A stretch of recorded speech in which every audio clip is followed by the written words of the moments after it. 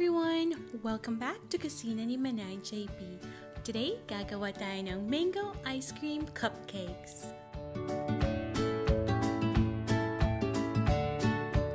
Ito yung mga ingredients na kakailanganin natin. 2 and a half cup ripe mangoes, 3 cans of Carnation thick cream, If you're using a different brand, make sure na magkapareho yung sukat nila. Each can of Carnation thick cream is 170 ml.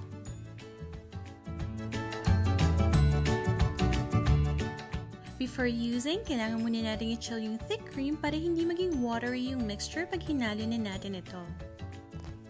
We will also need 1 can of condensed milk, 1 and a half cup of graham cracker crumbs, and 1 cup of slightly salted roasted cashews.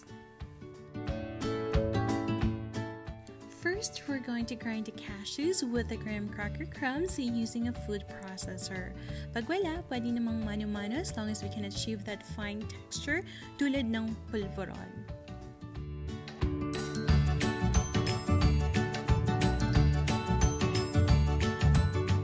Once it's done, isa-set aside lang natin ito at isusunod na natin yung mangoes, condensed milk, and thick cream. Imimix natin ito at a high speed for about 3 to 5 minutes.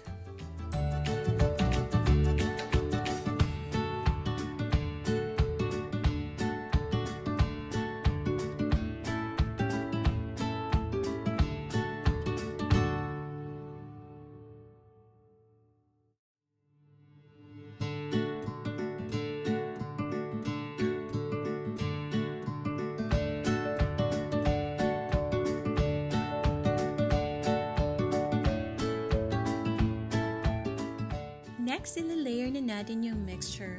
You can use a molder of your choice, but for this recipe, I would recommend using foil baking cups dahil mas madali siyang alisin pag nag-freeze na yung cupcakes.